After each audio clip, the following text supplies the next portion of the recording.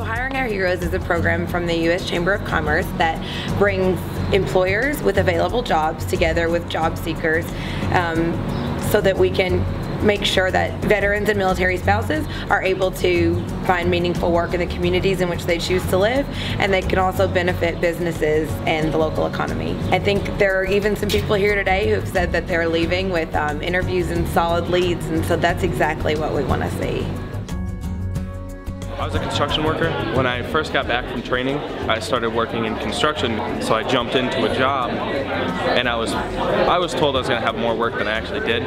And it just I just got laid off yesterday and I heard about this job fair from my aunt this morning.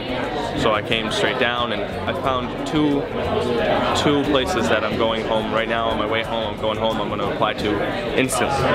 But these guys come back. They need they need jobs just like everybody else and quite frankly frankly, I think they deserve it. You know, I think they earned it.